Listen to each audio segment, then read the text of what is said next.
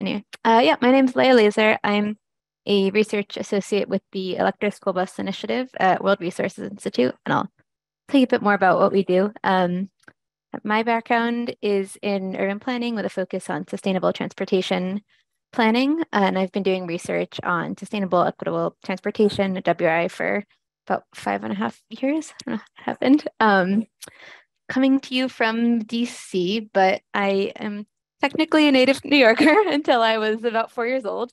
Almost born in a New York cab because they went to the wrong hospital back when that was the thing that you could do. but uh, yeah, these days, based in DC at WRI, World Resources Institute, we're a nonprofit, nonpartisan think tank that looks to turn research into action, focusing on environment, economy, and human well being. And within WRI, I am with the Electric School Bus Initiative. So we are trying to build unstoppable momentum to electrify the nearly half a million school buses in the US by 2030. It's a very ambitious target. Um, and within that, we're really focusing on a just and equitable transition. So making sure that underserved communities experience these benefits first and are included in the, the planning and management of the transition process. Um, so why why have we set ourselves this very ambitious target? Uh, there's the number of benefits to electrifying U.S. school buses. Today we're talking mostly about the health benefits, so we'll go more into details on those. But there's also benefits including you know uh, reducing greenhouse gas emissions, actually reducing operating expenses for school districts because electricity is often cheaper and more stably priced than diesel, helping create new jobs in the automotive manufacturing sector and also being able to use these large electric vehicles as uh, backup power that improves resiliency. But To focus more on the health benefits, they really all center around the fact that most school buses emit uh, large amounts of diesel exhaust. Um, so it's a it's a known carcinogen. It's been officially classified. It's been linked to asthma, cancer, a lot of respiratory illnesses, um, and children are sus- especially susceptible to diesel air pollution both in terms of health benefits, and there's also research showing impacts on um, on educational outcomes, on cognitive performance. That school buses, uh, the the air pollution from school buses can have negative in, impacts on students' test scores, um, and these um, you know these harms don't happen to everyone equally. Uh, we know that a larger share of low income students across the country take the bus than uh, non-low income students. So 60% of low income students take the bus compared to 45% of non-low income students that take the bus. Um, that's for uh, only middle school and younger. And also that more generally, uh, ex exposure to particulate matter exhaust from vehicles from on-road sources is higher for people of color than for white people. And in terms of asthma rates, the, the data is, is much worse, honestly, on childhood asthma rates, but we know that Native American children are one and a half times as likely to have asthma as non Hispanic white children. So there is really an equity angle to this transition. So, how is it going so far? So, there's nearly half a million school buses in the US. Uh, right now, less than 1% of those are electric. Most of them are diesel, some are gasoline. We'll get into the breakdown in a minute. But the transition is, is well underway. Um, so we have electric school bus, we're them commitments in 39 states. Um, so what I mean by commitment is the bus has been funded either through a public grant or sometimes just the school budget, but it's usually uh, state or federal funding, or it's been ordered or delivered or, or put in operation. So when we say committed, it's not just someone saying like, we commit to want to do this, that this is a, a higher threshold than that. So nearly 13,000 electric school buses have been committed across 39 states, and we're seeing that grow like basically monthly. Um, little shout out to our, our data set that tracks this in real time that is linked in the event description. Um, and as I said, more electrification pledges are on the way, with New York City having one of the most ambitious, which is why we're here today. Um, so next is the part where we start going into the New York data because this is New York Open Data Week, but I wanted to pause first and see if there's any questions on any of that, um, or to hear if there's anything in particular that, that someone is really excited to hear more about or discuss about so that we can focus on that moving forward. Feel free to, to come off mute or raise your hand if you prefer. All right. Oh, got a question in the chat. So it's all right if I read that out. Eric Richardson from DCAS Fleet says, can you talk a little bit about how delays in production and delivery affects these commitments that we were seeing for EV school buses? Yep. There's also a question, who manages school buses? Under what jurisdiction do they say? Okay, great. Um, I will take, I think, Jennifer's question first because it's a little simpler.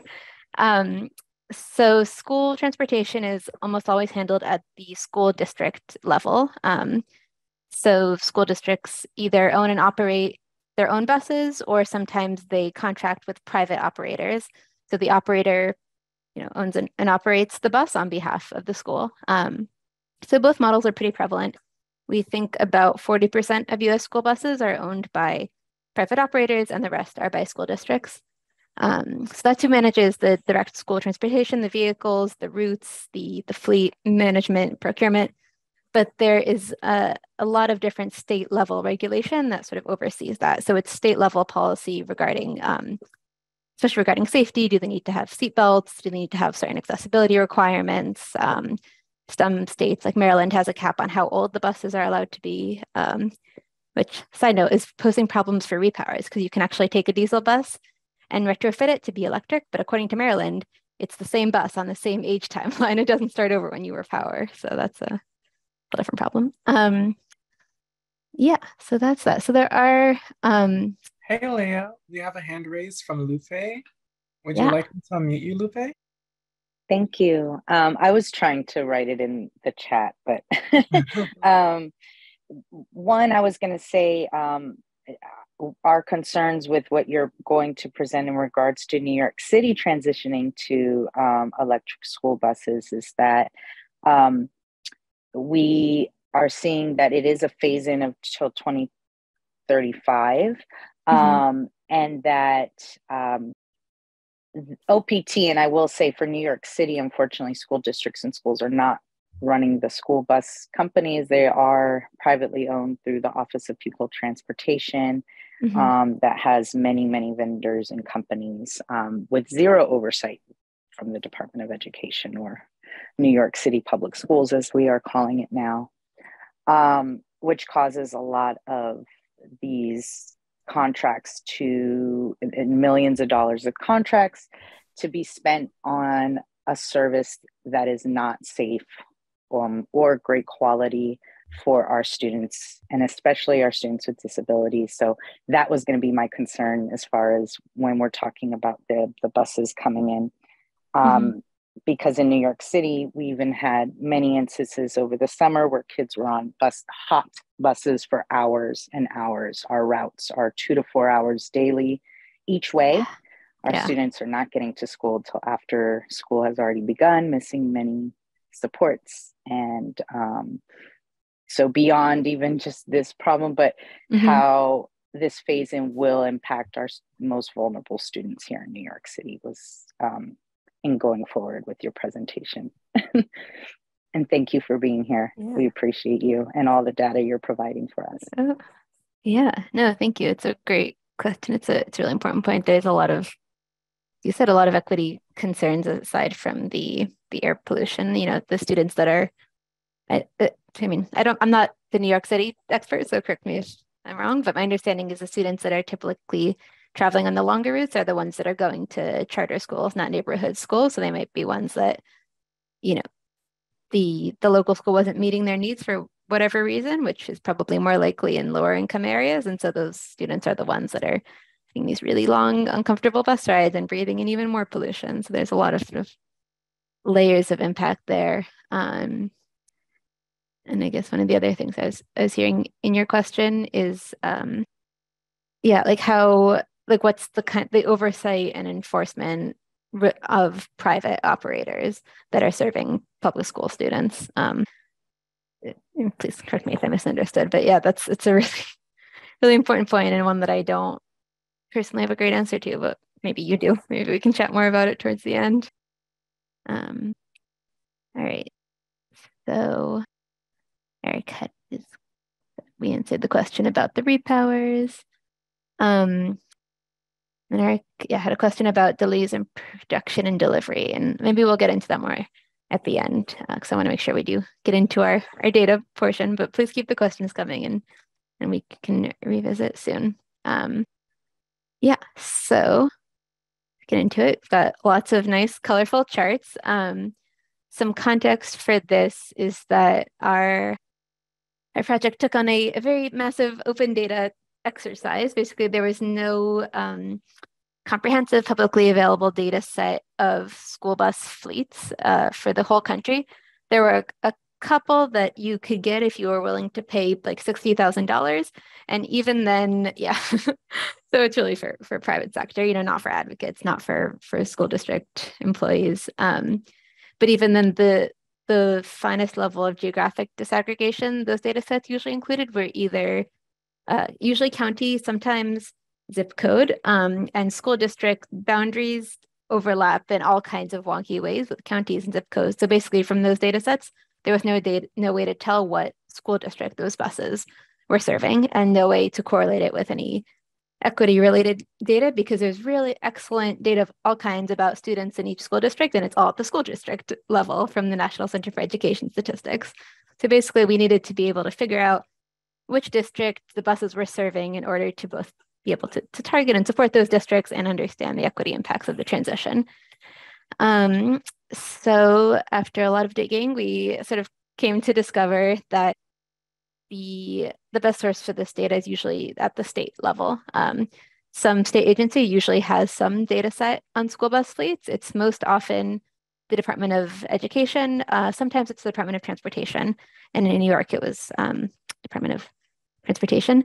It's also sometimes the like state police or some or equivalent because they often handle um, inspect like safety inspections of vehicles. So sometimes the base best data we could get was like the Michigan State Police safety inspection records. Um, but all that said, so we FOIA'd every state multiple times over nine months, and we created this data set of, of school bus fleets, um, which can be disaggregated to the district level and includes a lot of different variables. The most important ones for this use case are um, fuel type and age and bus size or type. Um, and then there's a lot of other information about manufacturer and all kinds of stuff.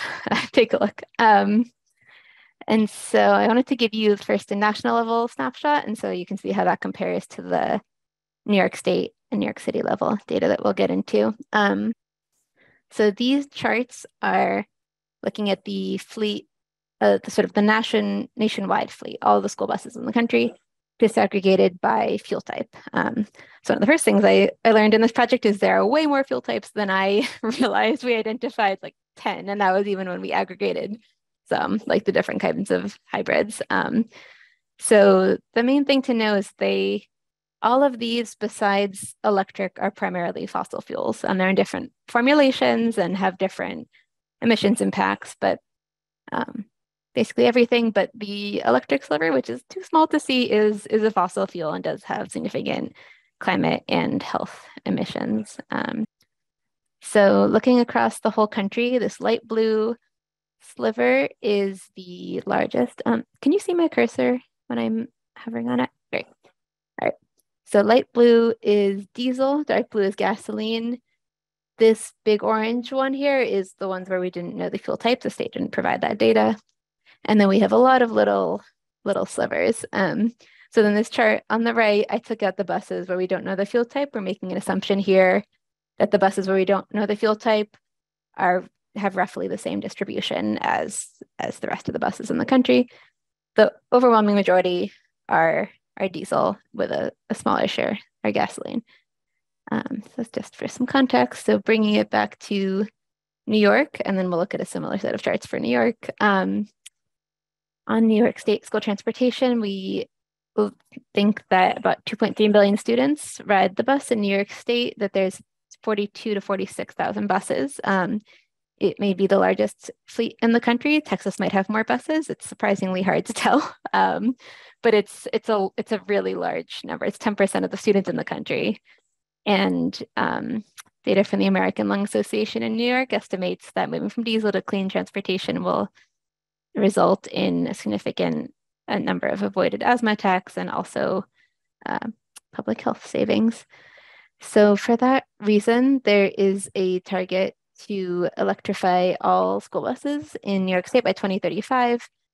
And that uh, New York City has reaffirmed that pledge. And I've also heard that they're aiming ideally for 2030, but I don't know the details of that. Maybe some of you do.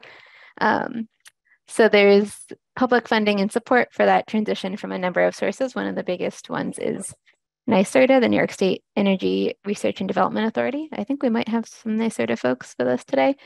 Um, and then there's a number of federal programs that New York buses are eligible for, including the Clean School Bus Program from the EPA. Um, so here's a little bit about our open data efforts in, in New York State specifically. As I said, it turns out the Department of Transportation had the records in this case, so they sent us a spreadsheet that looked looked like this. They actually sent it as a PDF. We had to convert it. Why would they send a PDF of a spreadsheet? It's okay.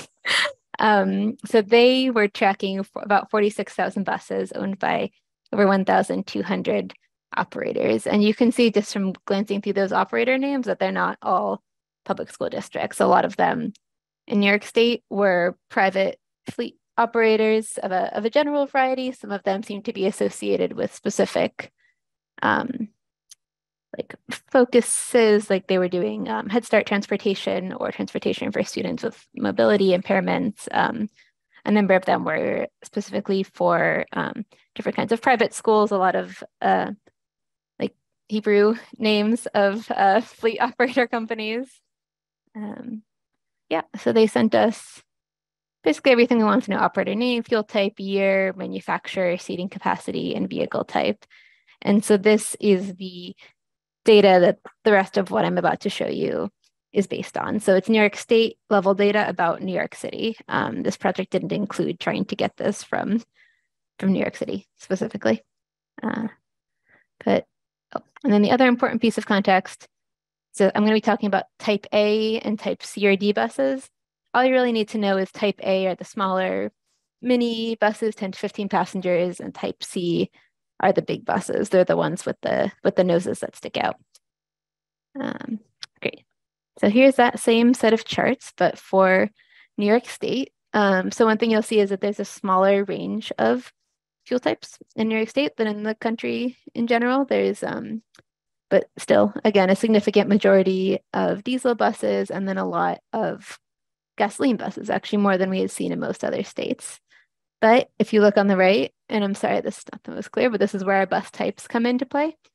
You'll see that the the really uh, big majority of the diesel buses are type C, are the big buses, whereas this big sliver over here of the of the gasoline buses are type A buses, so smaller ones. Basically, most of the gasoline buses are smaller buses.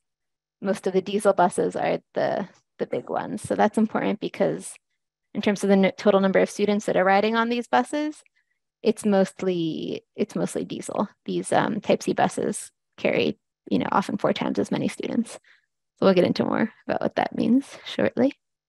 Um, this is the same data shown a different way because we all have different kinds of visual brains and I'm still learning how to present this. But on the left here, each column is a fuel type and then it's broken out by a bus type. So you can see of all the diesel buses, a small purple sliver are type A small buses and a large majority are yellow type C buses. And then it's reversed for gasoline. And then on the right here, it's broken out where each column is a bus type and then those columns are disaggregated by fuel types. So I can I can come back to this if there's questions. I just know we all process information differently. Um, and now we'll move to New York City specifically. Um, and yeah, would be very happy for audience participation here. Again, I did have some background knowledge and I did some research, but I'm not an expert on New York City school transportation. So I can learn from all of you as well.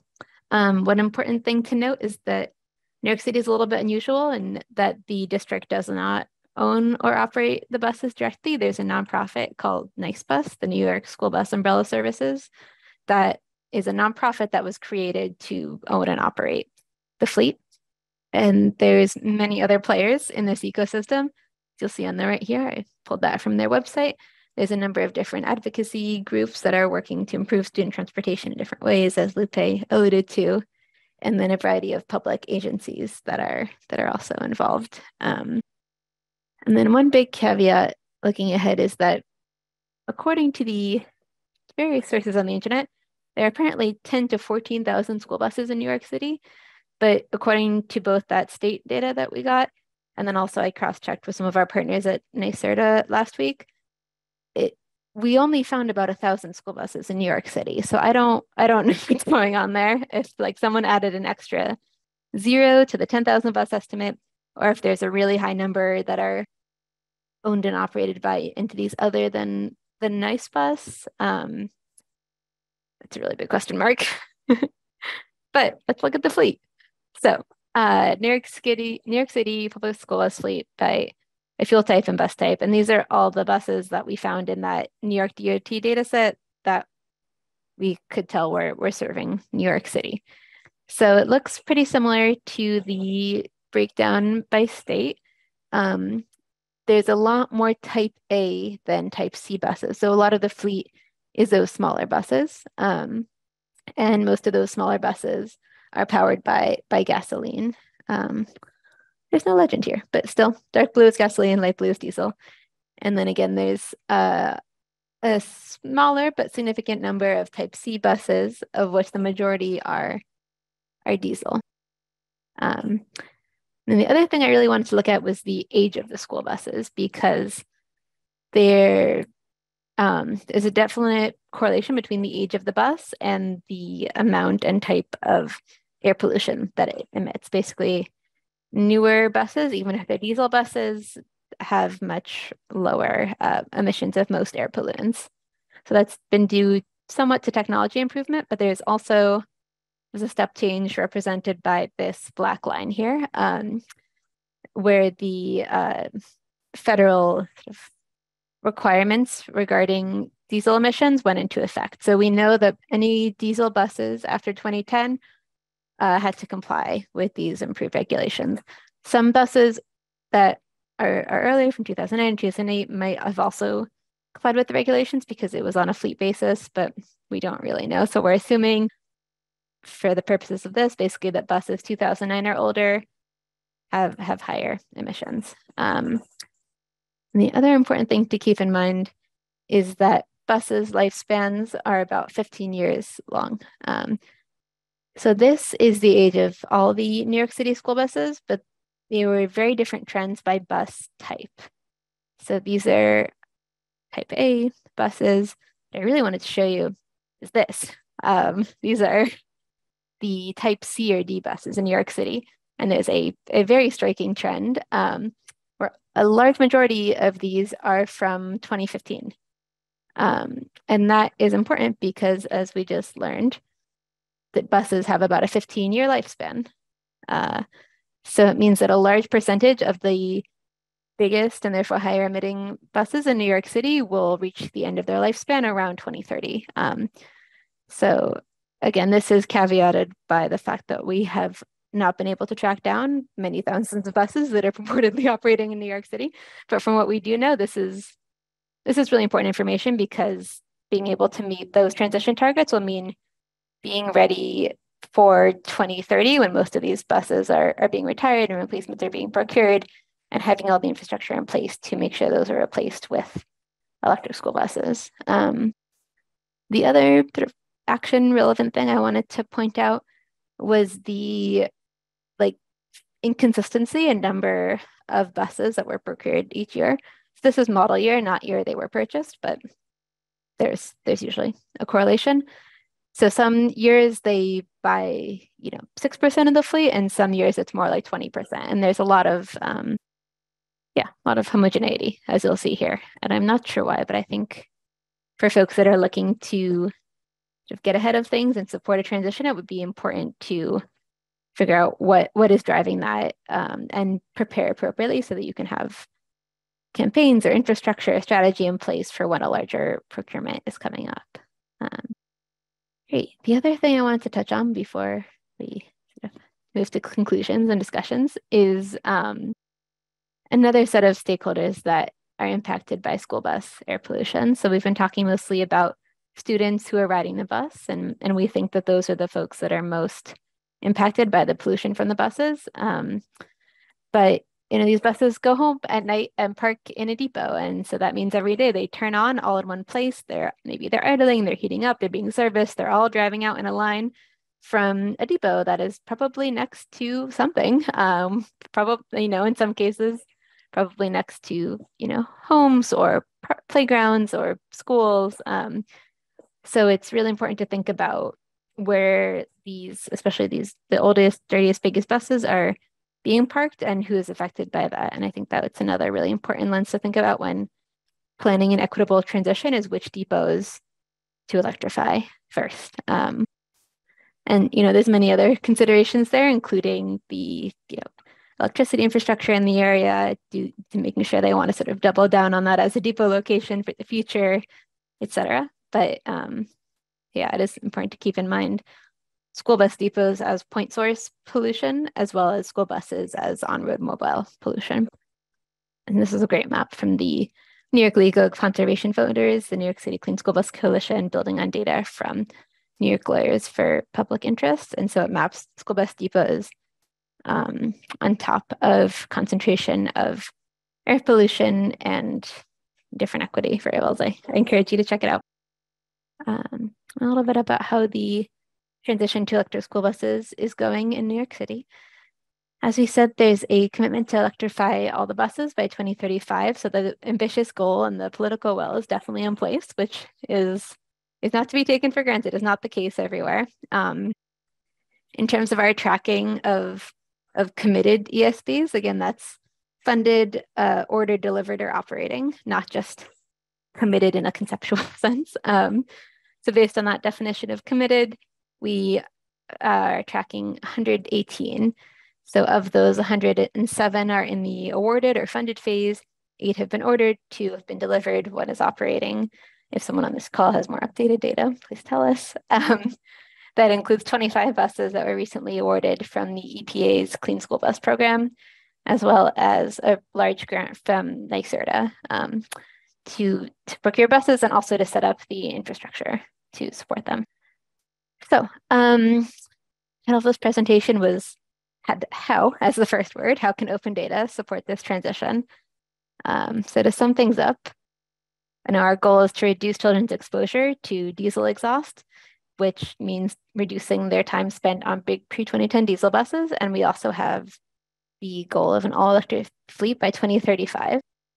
So to help us reach those targets, we know that New York City has uh, a number of a, a majority actually of smaller gasoline powered buses, which I think are not necessarily the focus for our efforts at first. They're smaller and they're running on a slightly cleaner fuel.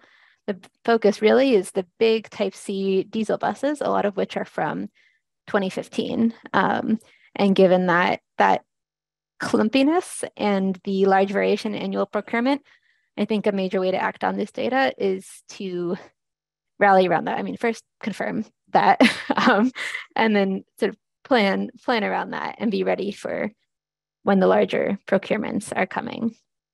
And then there's also a lot of things we don't know. Um, as I said, all the other school buses and their operators.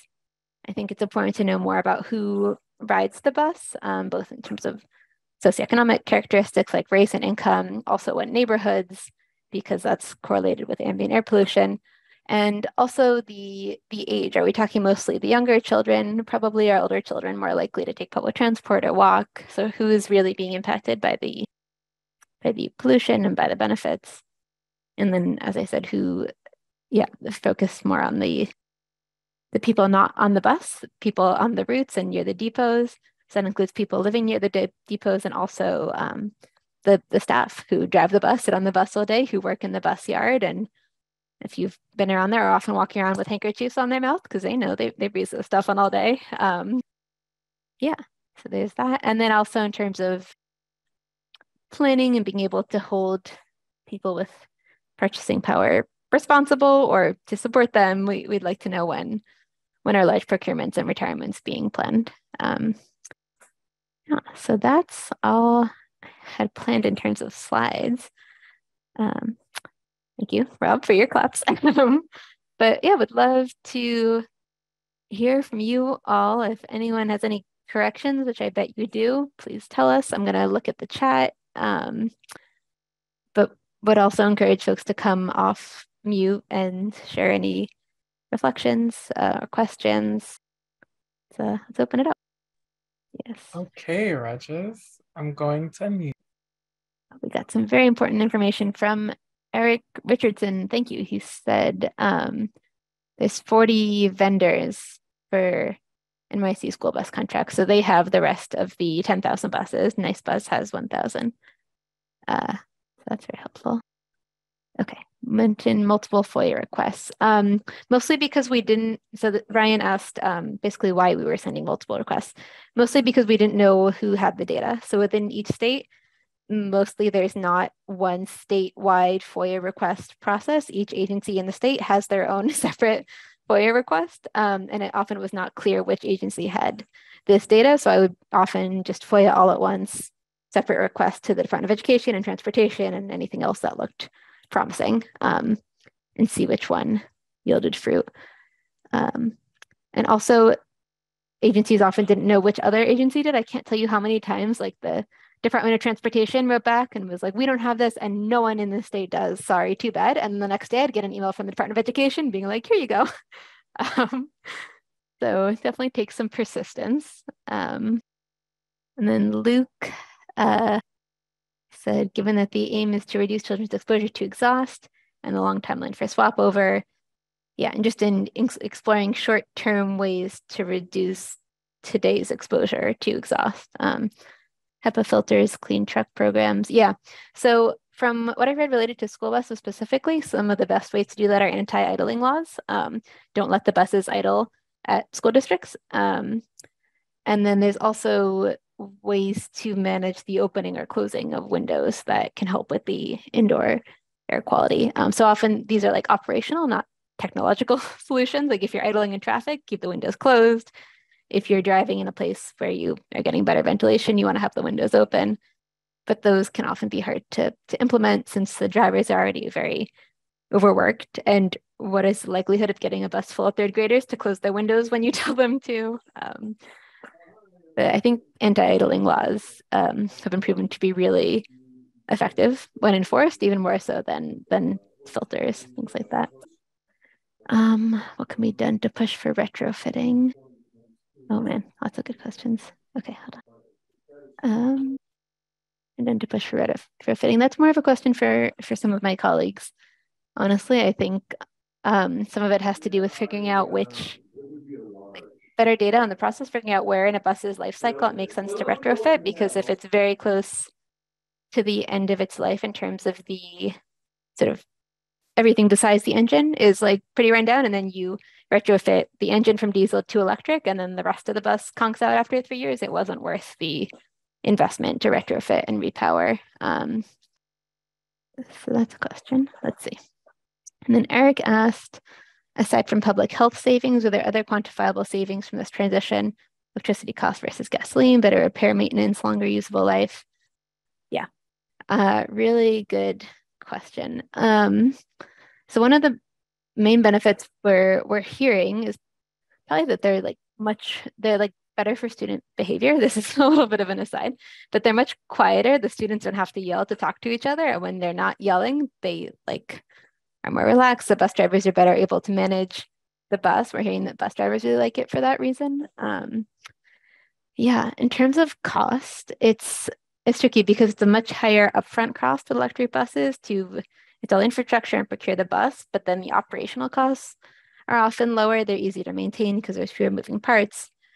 Um, and also the cost of electricity tends to be much more stable than the, the cost of gasoline or diesel. So regardless of the relative prices, which in most states electricity is cheaper than, than diesel, but even separate from the relative price, we're hearing the school districts really love the like certainty of being able to more accurately project their fuel costs into the future. Um, yeah, let's see. And then I asked if I had to FOIA, did some agencies volunteer data?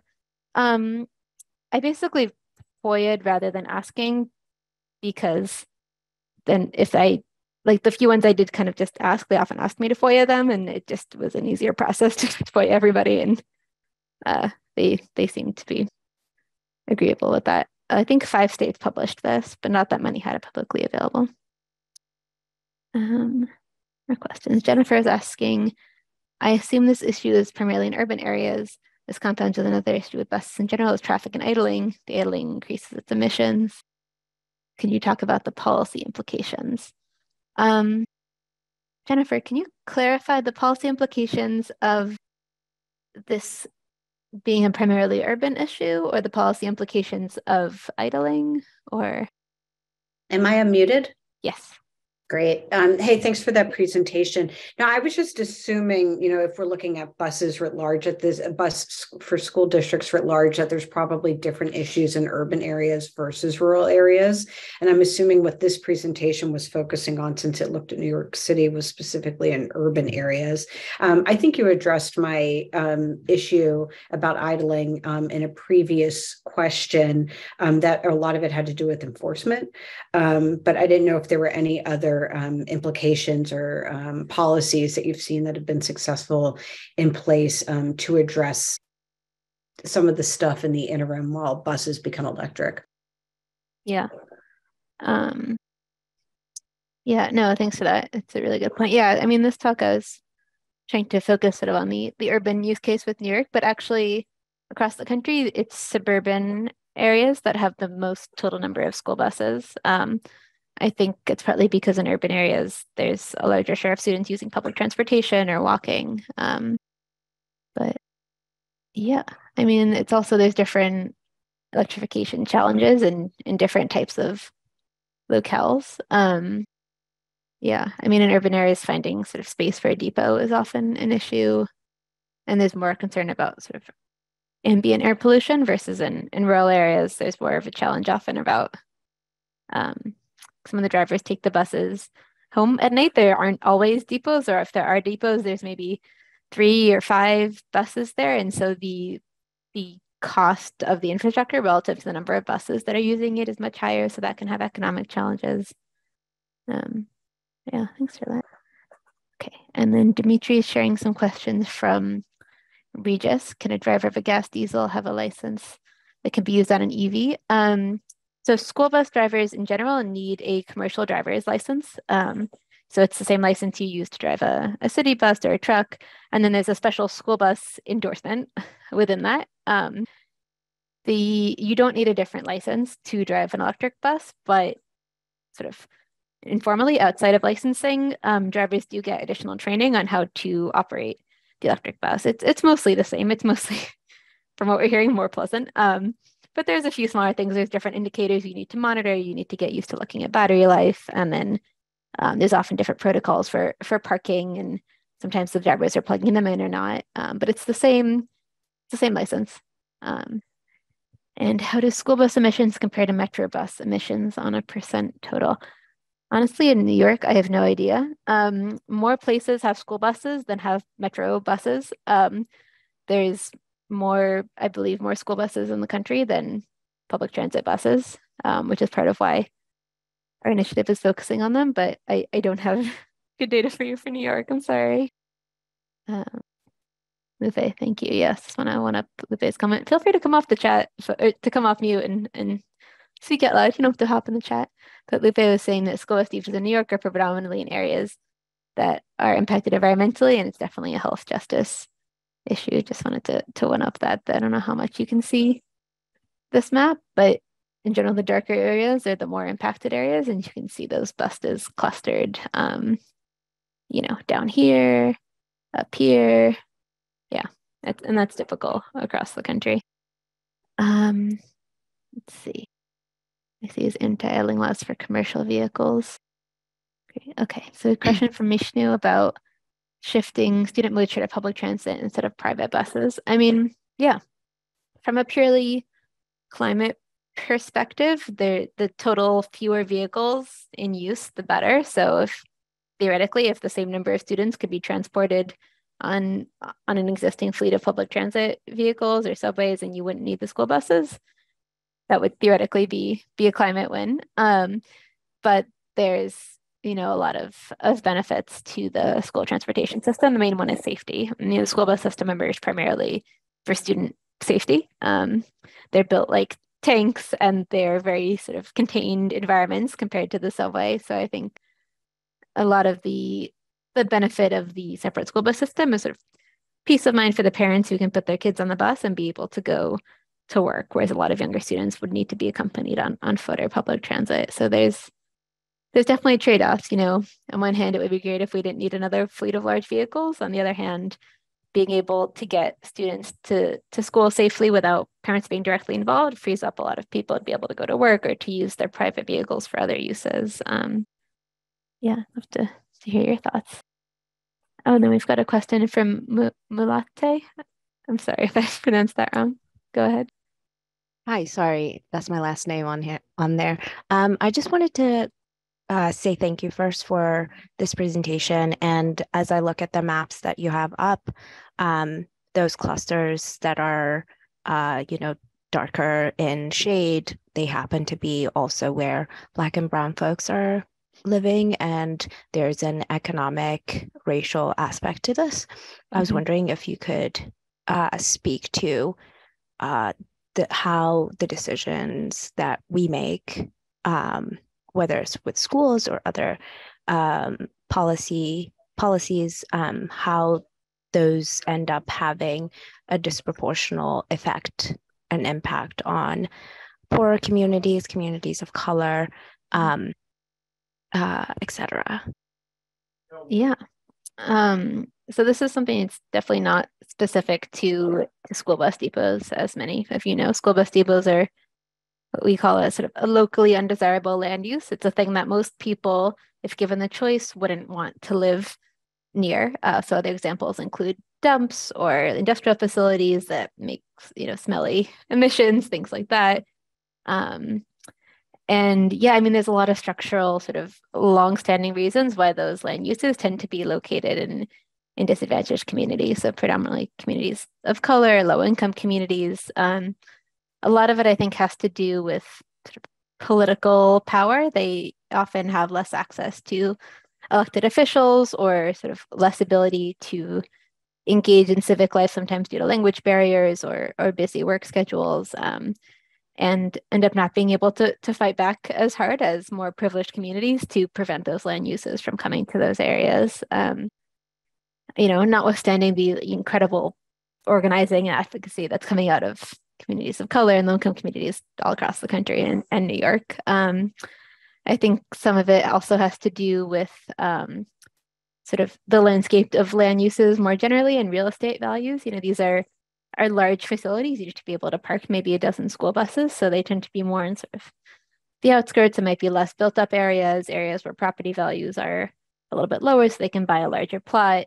Um, and then the the people who are also tending to live in you know the areas with, more affordable housing because of lower property values are also as makes sense uh, you know lower income folks or or people of color um, yeah, I mean, so it's it's not a school bus issue in particular, but it's sort of a something that's playing out very clearly with with school bus depots as well. Um, yeah. In terms of what can be done about it, I mean, I think you know districts and operators will be making decisions about what depots to prioritize for electrification and I'm sure they'll be thinking of different operational questions like what routes do they want the buses to run on? Where is there a substation that can provide enough electricity? But I think there's a real opportunity to, to sort of engage and pressure those decision makers and make sure that equity considerations and health justice and environmental justice are also factors in, in deciding which depots to prioritize for electrification or maybe which depots to, to shut down or where to situate a new depot. Um, yeah, does that does that speak to what you were yeah. Yeah. All right. Have I missed any other chats? Um, Luke says from the cost perspective, they could even so install solar panels on bus roofs so they can contribute to a charging array and further reduce the cost between shifts. Lots of scope for innovation with Con Edison um, using fleet batteries to support the grid. I have never heard of a bus with solar panels on the roof of the bus. Is that what you meant? I've heard of solar panels at the depot location. Yeah, can you hear me? Yeah. Yeah, no, I was just look. I'm just doodling around with this. It looks yeah. like someone is already doing it. They, they've already created a kit to put onto hmm. buses that allow, you know, that essentially put solar panels on top. It just seems like a lot of real estate. Um, and the buses, I think, if I understand correctly, they're they're idle for some parts of the day when the sun is brightest. So why not have them contributing to a grid? Um, and then if it's in those areas where maybe power isn't always so reliable, then that, that those batteries can then serve as a as a can actually feed back into the grid overnight um, and yeah. support local local communities with um, with you know particularly during the off hours when it's not sunny and you know support the grid locally. So there's lots of innovation that could be done there. I'm sure with you know partnering with Con Edison um, and just taking a slightly less bureaucratic view. Um, and I'd imagine, you know, procurement would need to get involved. Um, and, and, in terms of what are the specifications for buses, I think, you know, working with vendors to say that we want to mandate, we want to mandate sensible use of roof space so that it actually does incorporate, you know, uh, solar panels because the solar price of solar panels have come down significantly in recent years. So these are just things that I think with the scale you're talking about, maybe WRI can be pushing for this in some of their in some of their research and uh, activities.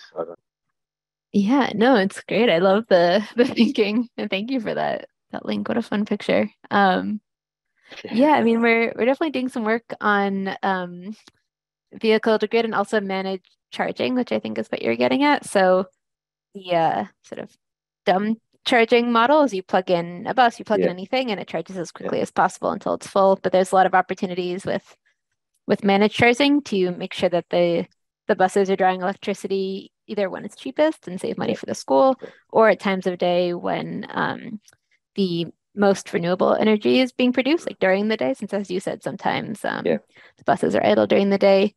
Although I, I would guess in New York City, they're probably doing like consecutive routes most of the day. Um, and that might be more of a factor in in other districts with um, you know fewer fewer yeah. schools or students. Um, yeah, there's also talk about um, possible uses for old uh, electric school bus batteries. So you know the the battery has a, a certain lifespan. Towards the end of its lifespan, it yeah. Uh, wouldn't have enough capacity for the bus to actually run on, but it still could be used for other other things. So there's some utility yeah. pilots where the school owns the bus, but the ut- utility owns the bus battery, and at a certain point, the utility will basically take back the battery, take ownership of the battery, and integrate it into some sort of energy storage facility um, to help you know manage the the mismatch between when renewable energy is produced and when it's needed. They often need these big banks of batteries, and it's a great use for older batteries that